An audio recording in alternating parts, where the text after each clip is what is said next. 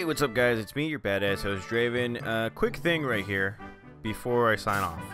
Uh, so this episode right here is the episode to where we go to Fuchsia City. As you can see, we won three badges in the last two to three episodes.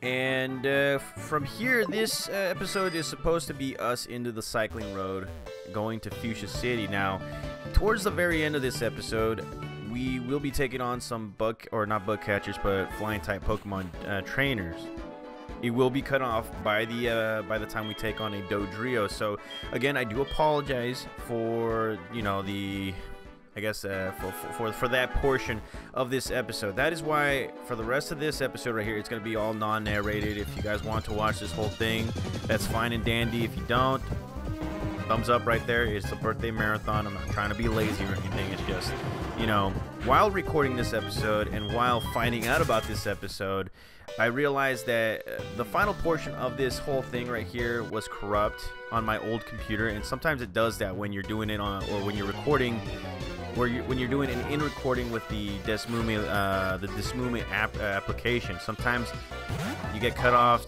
uh, at, at, a certain point, and sometimes you know it works uh, uh, its to its full full extent right there. So this is one of those cases where yeah, it doesn't really work. So again, I do apologize, guys. I will see you guys in the next episode as we, you know, go through Fuchsia City.